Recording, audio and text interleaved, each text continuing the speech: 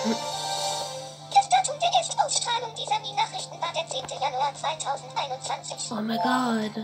Der Pandagel Radiergummi erfreut sich bei Kindern derzeit großer Beliebtheit. Dieser ungewöhnliche Radiergummi, der in Form von Pandagel daherkommt, wird schlicht und ergreifend Pandagel Radiergummi genannt.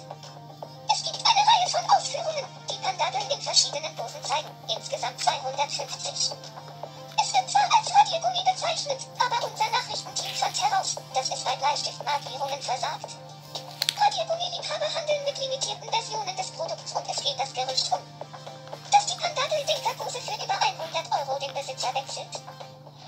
Wir haben einige Inselbewohner nach ihrer Meinung gefragt. Jetzt habt ihr mein Interesse geweckt. Ich muss jemandem davon berichten. Danke fürs Zuschauen.